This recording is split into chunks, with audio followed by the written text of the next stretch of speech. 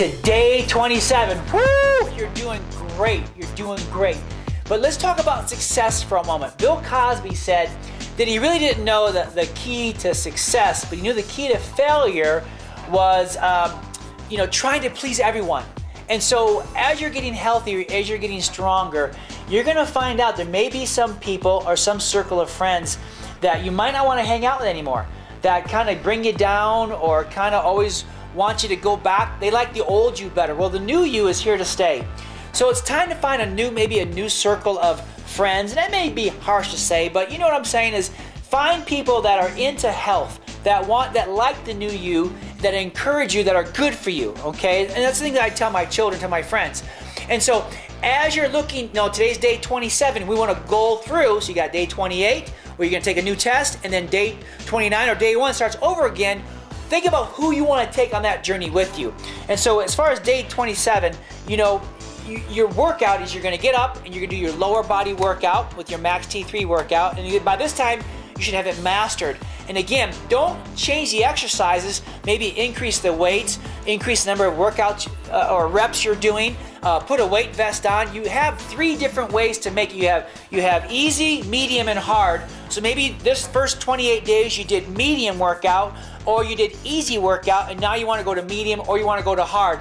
But mix it up. Again, uh, 12 minutes a day is all it takes, and have fun with it. So again, on day 27, you're gonna have a great power smoothie with uh, coconut milk or water, protein powder, and avocado, some uh, coconut flakes. Have fun, mixed up in there. For a snack on day 27, you're gonna have uh, your almonds, your maybe your own trail mix you're making up with with almonds, pecans, uh, pumpkin seeds, uh, walnuts. Uh, for lunch, you're gonna have your leftover shepherd's pie, right? Yep. Okay. for for snacks, you're gonna have your uh, what are these? Eggs, right? Eggs. You're gonna hard have uh, hard-boiled eggs. Thank you. And then for dinner, what is this? Is this the? Oh, this is the halibut again. you know why we having halibut? Halibut. So you're gonna have halibut, grilled halibut, with uh, with a salad, with your with a cauliflower or a vegetable of your choice. You can make the mashed potatoes, okay? Have some olive oil, have some balsamic vinegar with it, but have fun with this, okay? We're having fun, you're having fun. So that's your meal plan for day 27.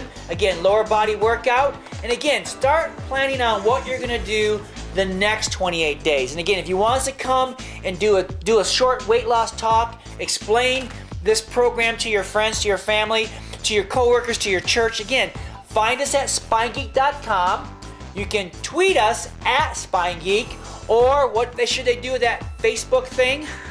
like us on Facebook. Do it. See ya. Have a great day 27.